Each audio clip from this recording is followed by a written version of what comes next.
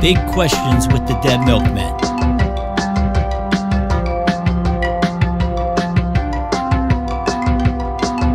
Hey, everybody. This week's question is uh, Halloween related. Um, there are three parts to this uh, question. Um, the first question, uh, which I'll tell you now, and I'll save the question two and three for the, the next round. Um, the first question is What is your favorite Halloween candy? And I will say that I am a dark chocolate aficionado. So pretty much anything dark chocolate is, is in my wheelhouse. Um, right now, my favorite dark chocolate candy is, um, and I just this year saw them uh, for sale, as um, Reese's uh, Thins peanut butter cups made with dark chocolate. They come in a little bag. Um, the unusual thing about them is they they come in individual packages, but they don't have that, that sort of paper cup that goes around the regular Reese's cups. Mm. They just you open up that pack and you're right in there. So uh, Reese's Thins dark chocolate peanut butter cups. That's my favorite right now. Reese's ribbed for her pleasure. That's right. Um, and also, once you try try dark chocolate, you never go back. Um, okay, um, so my favorite Halloween candy, despite being obsessed with Halloween. I mean, I wake up like you know, leading up to Halloween. Uh, I'll wake I'll wake up in like August, going, "Is it Halloween yet?" Um, I, I love Halloween. I think about it all the time. I'm glad I moved to Philly, which is a city. Old Philly is obsessed with Halloween. Philly for Philly, not Philly for New York. Philly for New York doesn't care about Halloween. But I, I love Halloween. Uh, the people here love Halloween, but I don't like candy. I, I, I got, and think about it. That means I got to be this fat strictly through depression and anxiety. thank you, brave patriots. Um, but the uh, um, but imagine so, if you also liked candy. Well, yeah. I mean, oh my God, you wouldn't be able to get me in the room. I'd be like Marlon Brando in Apocalypse Now. The horror, the horror. Um, so I'm, I'm not a candy person. Now I do like candy from India and I work with a bunch of people from India, a bunch of friends from India. They bring me candy from India. I love candy from India. That said, I'm an expert on Halloween candy. And that is because every year pre COVID, Vienna and I had a ritual where we would pick a Saturday before Halloween and we would sit, we would put in horror movies, probably about six hours worth. And we would buy maybe a hundred dollars worth of candy, probably more. And we would put seven pieces in each bag. These are seven big pieces. So that when kids came around, they were really happy they were like, "Oh, this place is great." I remember once we saw some kids complaining. We were, we were headed out, and they were complaining because they they couldn't find candy. People weren't, and we're like, "Wait right here." And we came back and gave them a ton of it. Handing out candy is one of the the, the greatest thrills in life, and I, I love it. Um, and uh, a quick nod to the late Dave Blood, who once bought uh, razor blades, apples, candy, and rat poison right around Halloween.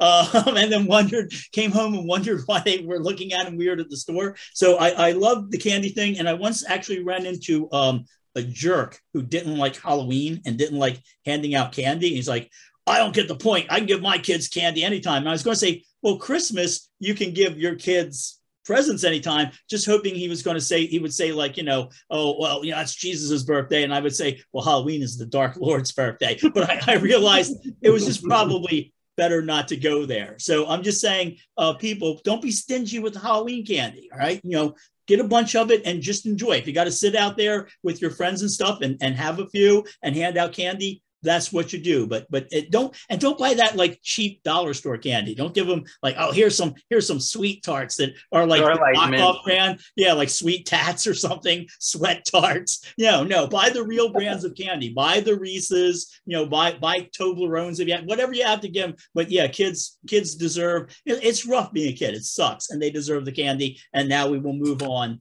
to I think uh, Joe is next. I like candy corn, and I have some. And I also like Nerds. Speaking of cheap candy, it's actually not that cheap, but uh, you can get it at the dollar store though. Um, but I just found out this year that they make Nerds candy corn, and now this is my new favorite. It combines the wonderful texture of candy corn with the amazing extreme sour sweet flavor of Nerds two things the flavor one. of nerds, but the shape and texture of the Yeah, candy. look at them. They're Was like- that in the Epicac section? Yeah. They're, might be a little bit over engineered because each one has different colors inside, but who is going to take the time to actually open up one and see, oh, wow, they're orange inside the purple ones, or they're green or uh, yellow inside the red ones? I don't know, Wow. but they are really good. To me, You know, anyway. Is candy corn like in the public domain, like the whole concept of it, or does Um, somebody these, this is Brach's. Lots of companies make it though. But I Native think Yeah, Brach's- Americans- so like it's like must be just like an open patent. Thing. I don't a couple know. years ago i got um kisses hershey's kisses candy corn flavor and i i love them i didn't see them for sale this year First of all, Native Americans called it candy maze, and they would they would give it to the pilgrims just to watch the pilgrims get painful diarrhea. And it was. It was filled with peyote too. I'm a historical reenactor. But why is there a pilgrim hat within reach? yeah, that's a good question right there. Yeah, that's, that's a whole other episode. Okay. Joe, I also Blackmore like left it. Corn. And I Thank a you, lot of Ritchie people Blackmore. don't. Oh, You- sorry, you guys Dan? like candy corn? What? I'm You guys not a big candy fan of candy corn. I feel like people either like it or hate it. i like it It's like wax lips. Remember wax I lips? don't, I remember don't even get me started. I'll they'll take up the rest of the time on wax lips. I've like talked to my kids about it and driven them crazy because I was like, "Are you supposed to eat it? I don't understand. It's wax." Uh, anyway, I I do like candy. I don't eat too much of it, and I've never had a cavity, but you know, I take care of my teeth, and I like chocolate, but I really think that my favorite is Smarties, and I based it on the fact that I could probably eat forty or fifty of those little bags of Smarties and not even care. Hey. Um, and I'm not talking about Canadian Smarties because those are actually chocolate. they're like m&ms They are. Metric Smarties. Yeah. Why do I like Smarties? I don't know. They're just they're called ro- these are called they rockets like- in canada They look like they could be pills, or you can They crush them pills. and snort them. Joe, did you I say think- Canadians are called rock people? they call these rockets in canada Oh. they make them in ontario and in new jersey yeah, the um, Smarties over they're they are like M and M's. Um, I don't know if they have an S on them, which would be a funny practical joke because Skittles have an S and they are not chocolate. And incidentally, my my middle son does not like chocolate and never has. And now I just realized that's a really good prank to play on him. Get Canadian Smarties. They're chocolate. Mm. Okay. Round two of our question this week is what is your favorite Halloween costume you wore, either as a child or an adult? One of my favorites is as an adult. Um, well, let me start. I, when I was a kid, my mom used to make our Halloween costumes. We never bought those like store bought costumes. Um, one year it was so ridiculous. I went as a mummy and we just wrapped toilet paper around me. And I mean, that's the classic. Um, but as an adult, I think one of my favorite things is, you know, the Milkmen have uh, played a bunch of Halloween shows, and it's always a lot of fun to get dressed up for when we play. And one of my favorites is uh, from uh, 19, um, what was it? 2012. No, it was 2012. And we played, and I created a uh, Dalek costume for both my drum set and me. So I had the drum set surrounded in what looked like the outside of a bottom part of the Dalek, and I made myself a helmet that looked like a Dalek. And uh, we can show you a picture of that uh, right now. And uh, that I had fun putting that together, and that's one of my favorite costumes that I put together as an adult. Honorable mention. Um, well, I'll maybe I'll, I'll wait until the end of this round to mention the honorable mention. Rodney. Okay, first of all, I love the. The, and it was all around the drum kit. It just it looked awesome. It looked really good. I was super impressed by that. First of all, I don't understand this costume as a child thing. Um, one of the things I love best about my mother is not only does she not have a domestic bone in her body, she doesn't have a domestic molecule in her body. Um, so like my mom, you know, for a costume, my mom would take like a jock strap and staple like a, a sock to each side and go, here, now you're that dog everybody loves, you know. Here's a broom handle. Now you're either Luke Skywalker or a Louisiana prison guard. Um, just you know, she didn't do the costumes, and I thought that was weird because we have kids whose moms spend all year making these elaborate costumes, and then they would yell at them because they didn't trigger the little lighting thing at the right time. Like I told you, just as you're leaving. And so it that that always amused me. And I also actually wound up. We talk about mummy costume. I wound up learning to sew and all that because you know my my folks didn't do it. And, and, so if I wanted a mummy costume, I made one out of bandages and a mummy mask. And so just picture young Rodney with hair sewing that while while young Tim Gunn stands in the background and goes, Rodney, I really like what you're doing with this mummy thing. I really, I think it has potential. Um, but my favorite costume of all time, when I was in my 20s uh, or or early 30s, I forget what it was. I wandered into like a Halloween superstore and I found some devil horns, and I thought, oh, these are interesting. And I actually went and I'm like, what can I do? And so I went and I got now, folks, the devil horns deteriorated and you can't find them anymore. I've searched and searched and searched. But what I do have is the spirit gum that held them on and the little um oh watercolor set that I got. I went into a um I was like, what do I do? And I went into a um an art supply store that has little watercolor sets. I'm like, oh, so I had painted the horns like with blacks and browns and some reds in there. And people were telling me, they're like, they just look like they grew out of your head. It mm-hmm. looked like people would say, it looks like such a part of you. It's not really a costume. My wife found it very attractive. Um, and so um, I'm going to show a picture. This is me with the horns sitting my, next to my one of my nieces when she was young. We're at what we had in Philly used to be a Dracula Day parade. Uh, the Rosenbach Museum uh, had a Dracula Day parade because uh, it was uh, Bram Stoker was in Philadelphia when he came up with the big idea for Dracula and again, it's just a weird, scary city. So we had a Dracula Day parade that was done by Spiral Q, and eventually uh, they they were shut down by the government, or and I think they're still around because they sued the government because the government thought that they were trying to interrupt the 2000 Republican convention. There's a whole weird backstory with that, but that that was there. And the famous thing, I was wearing the horns. Uh, when I was in a cab leaving Dracula's ball uh, year many years ago, uh, and I w- we were T-boned by a car, and the guy driving the cab turned around and went, I knew I should have never let the devil in my car.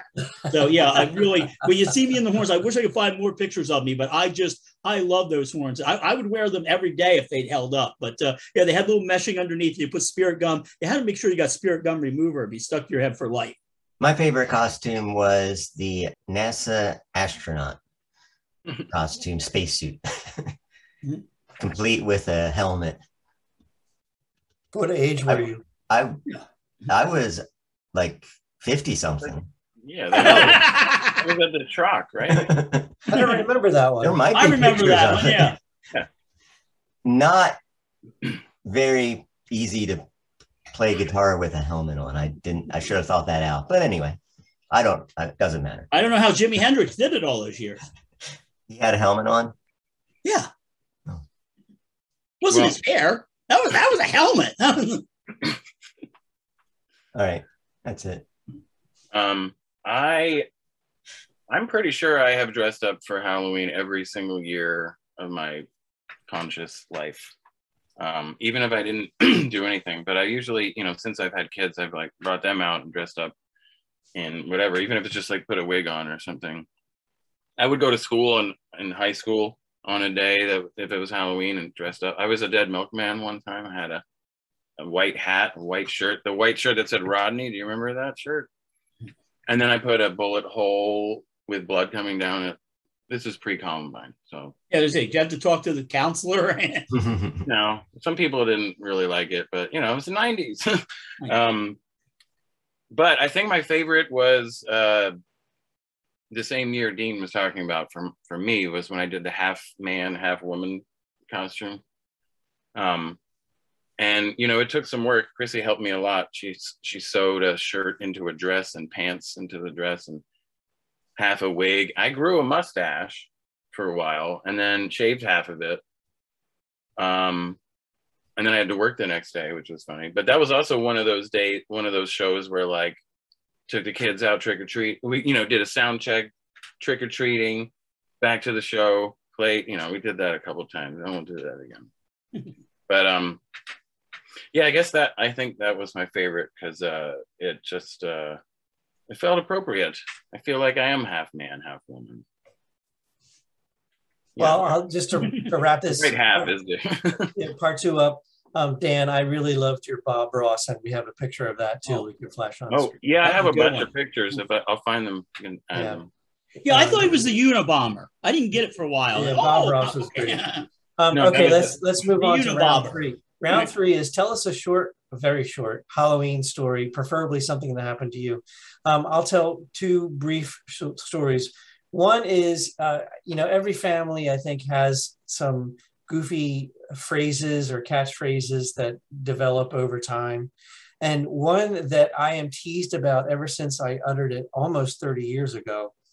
We were at my uncle's house, and their two uh, kids, who are my nephews, uh, were out trick or treating, and they came back. And they came back in the living room and they dumped their bags of candy onto the floor, and there was a huge mound of candy. And I uttered without thinking, I haven't seen that much candy in a year.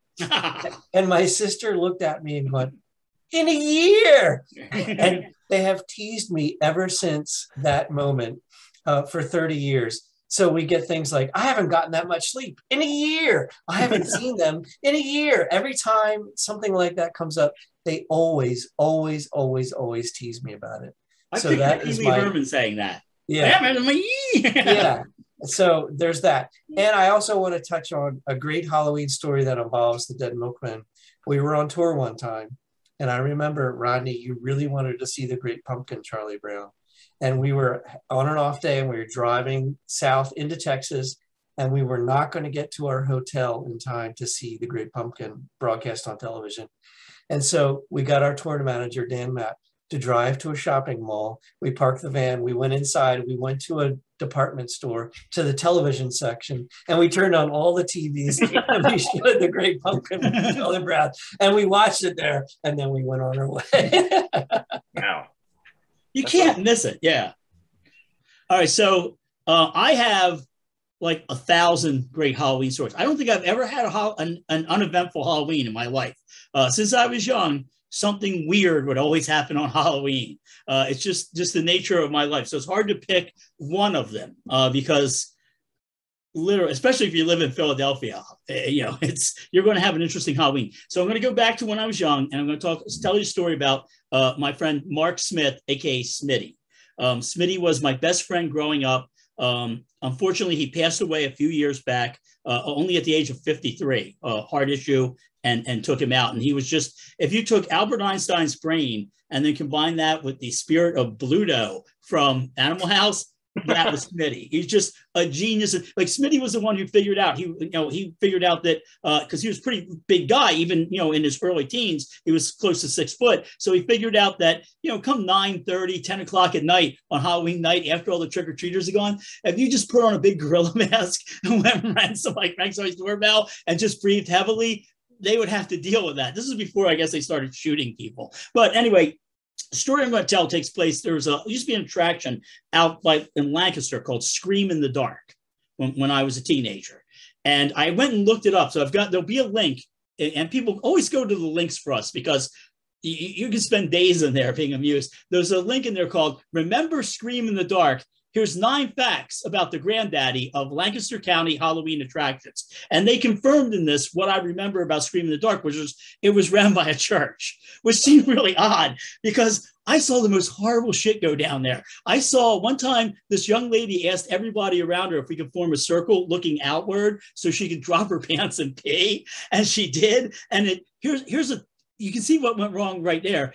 The stream came and went downhill, and I wasn't the unlucky one, but it was like Russian roulette. And they also had this uh, um this weird thing. You would sit. It was like a uh, um you know when they drag race and have the lights that count down. You sit in these chairs and you would step when it got to green. You would step. If you went too early, you'd step on a uh, acceleration pedal type thing. If you went too early, it would shock you. If you went too late, it would shock you. It took us about two seconds sitting there watching them bring people up to figure out. Wait a minute. All we got to do is just the minute it starts, stand up out of the chair, step on the thing, and it'll shock the hell out of the other person. Then, so yeah, we, we used to enjoy that. But here's the story. So we're at Scream in the Dark. and we're teenagers. We've smuggled beer, we've drinking the whole way, and we get in and we're going through, and it's, it's totally dark in one section. And my friend Smitty, who's a you know, big guy, strong guy, is, and he's a teenager, is, is going through and he's hitting the walls, you know, the way you would feel through, and his his hand goes through the wall, punches through the wall, and he realizes, wait a minute, this is all like drywall, and he has an epiphany. So he lets everybody go past, and he holds me and his brother back, and we work look work as lookouts, and he starts punching huge holes in the wall and ripping out. So eventually he makes an entrance that looks like a cave entrance that's about six feet high and four feet wide. And then when the next group of people comes through, he starts playing tour guide and he starts going in through here, in through here. And uh, for all I know, those people were like still in the walls somewhere. To this day, when I see teenagers acting like idiots, I, I start to think, oh, that, and I think, wait a minute, what what was one of the things you because i imagine that you know who knows what was between those walls but i'm going to read this is the uh, the last line from the thing about scream in the dark and this may explain a lot here. In 1983 scream in the dark was canceled permanently after well over a decade of scaring locals and visitors alike the attraction was closed for good in 1983 over the previous years an increasing of num- an increasing number of problems with guests who were drunk and or disorderly caused Youth for Christ officials to shut down Scream in the Dark, citing fears that visitors or volunteer staff might get hurt. So I think, yeah, it was. But the thing is, I, I to this day, I shouldn't laugh at it. I shouldn't, but I can't think of Smitty in that. And and and and again, maybe the reason I hold Halloween so sacred. We'll put up his obituary, and his obituary it actually says um, Halloween was his favorite holiday, and it was from the time he was a kid uh, until his death. He loved Halloween, and uh, every Halloween I do a little toast for Smitty, and I really do. I, I miss him, and I made it through that without crying. So yay! I don't have that many good Halloween stories, but I'll tell one anyway. Maybe we can edit it out. this happened in 2016 on Halloween. I had just moved to Conshohocken, so I was kind of new to the neighborhood. I decided I wanted to hand out candy. I, at CVS, I bought like a $9 bag of the mixed, like different variety pack of the Laffy Taffy nerds, stuff I like, not the chocolate stuff. Uh, sweet tarts, it was like huge. And I also bought because I know people like chocolate too. A similar variety of Reese's, the Hershey's one. Um, and instead of making little bags like other people might do, I I just poured every. There was already in the house. They had a huge plastic jack jack not a plastic one, a glass jack o' lantern. So I put everything in that like a container, and w- turned on my light like you're supposed to do. And we had a cat named Bob back then who'd always sit on a uh, recliner on the porch. And it actually looked kind of spooky with the light on and the cat. And one by little by little, I kids would come up and I would say, "Take whatever candy you want." Okay, Rodney's gone.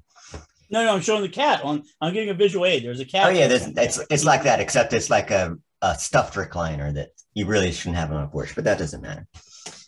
Uh, some kids would say, "Oh, is that a real cat?" See, yeah, it's a real cat. It likes kids. You can touch it if you want, Because it was anyway.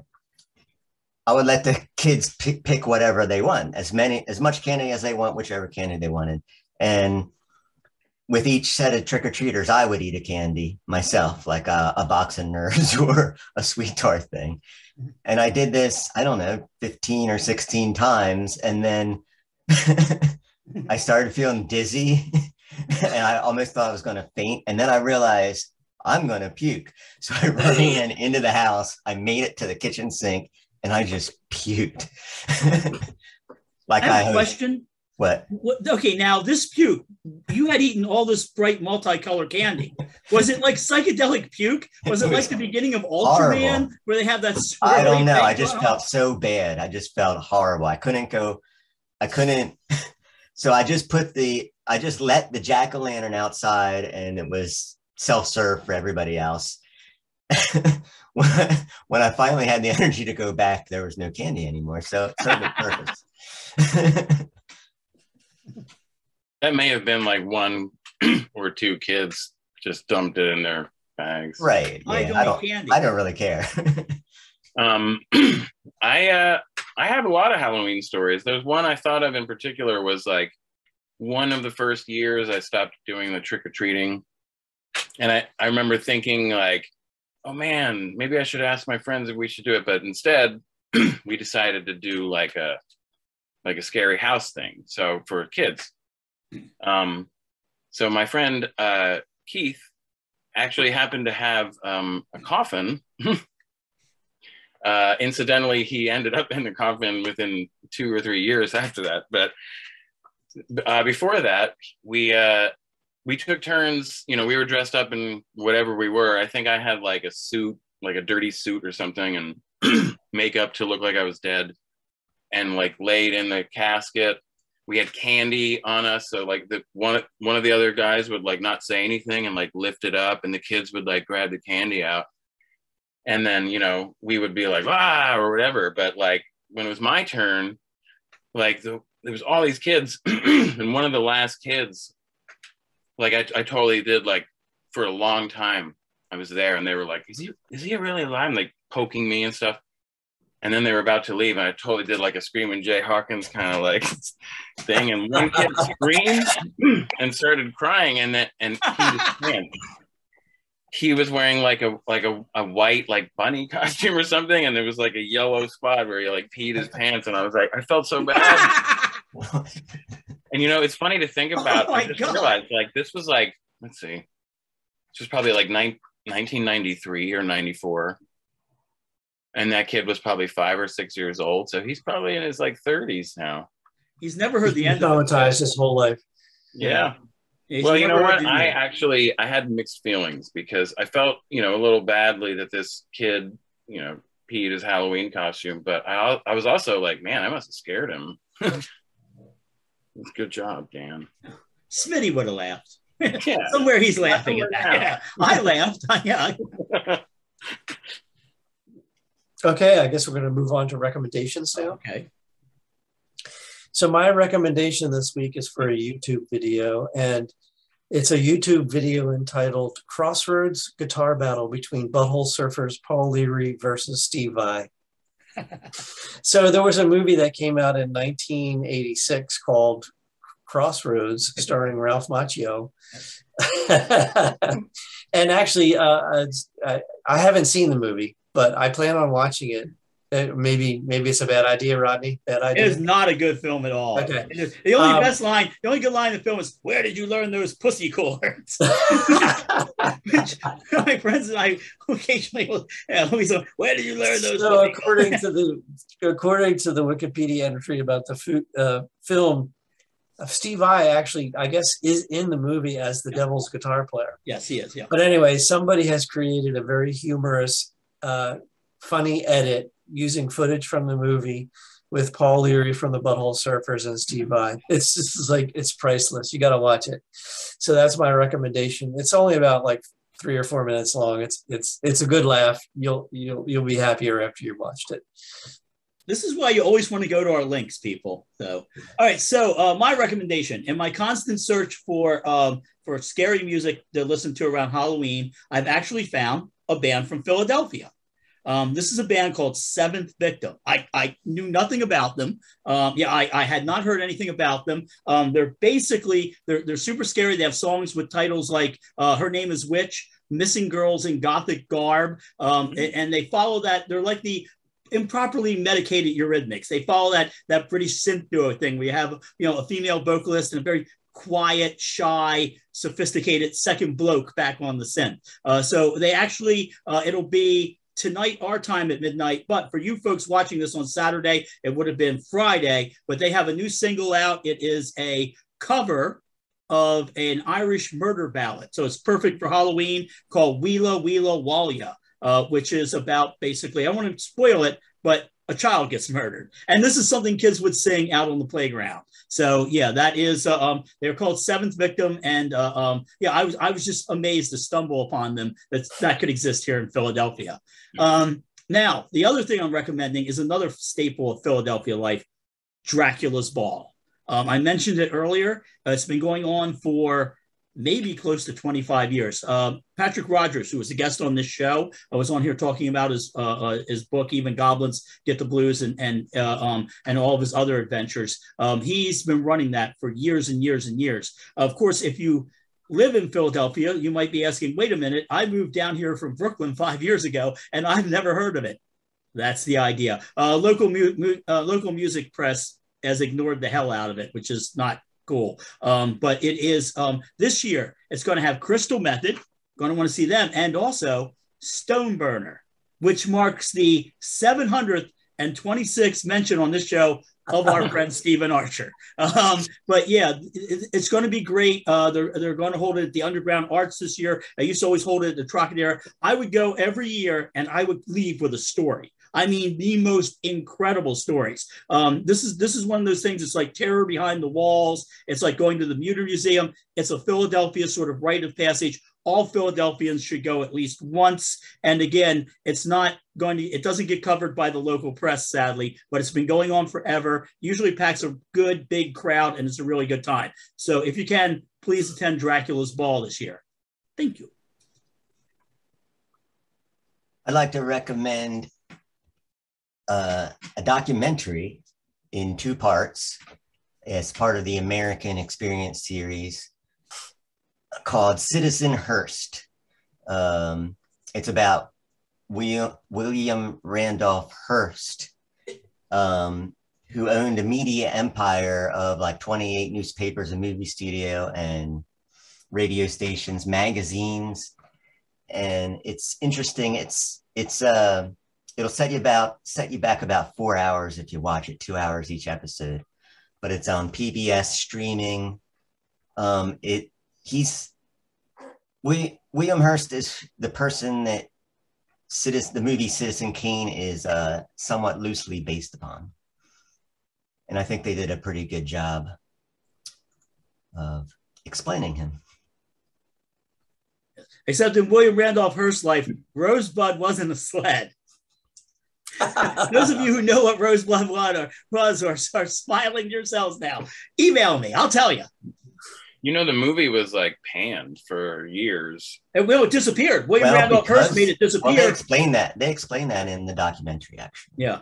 And it wasn't until it popped up on TV after he died that people were like, "Oh my God, this thing is." They started showing it in like film schools in the late '60s, I think, and people started to say, "Wow, this is actually pretty good." And oh. it does all these like film noir and like German expressionists and all these like different styles of film were all in this one.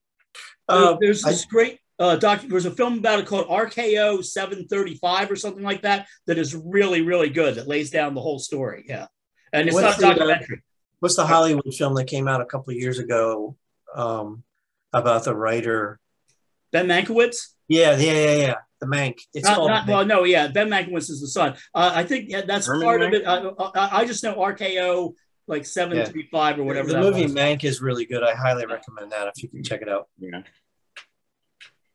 Um, I I recommend. Uh, I I just got this recently. It's called. It's a the Night Sky Guide, and it has each of the se- seasons.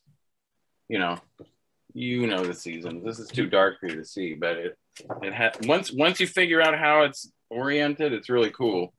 And is I would recommend. what? Is it glow in the dark? No, but I would recommend, as it does here, to use like a light like a red light, and it's cool because it's like a map kind of thing, and it's laminated. It's dew proof. Roxanne, you don't have to put on the red light. I'm so tired of my over. star mats getting ruined by dew. but um, I also I also came across randomly came across like an Instagram page, which was really strange that I've been really kind of addicted to. Uh, it's these weird videos with like just random music. Um, mediatations or something. I don't know. I'll, we'll put a, a link to it. Uh, you guys should check it out. It's kind of creepy stuff. Great. I always Yeah. think of my relationship with Joe like Charles Foster Kane and Jake Geddes in, in that film, where I just run around screaming a lot and, and, and he just looks at me disapprovingly.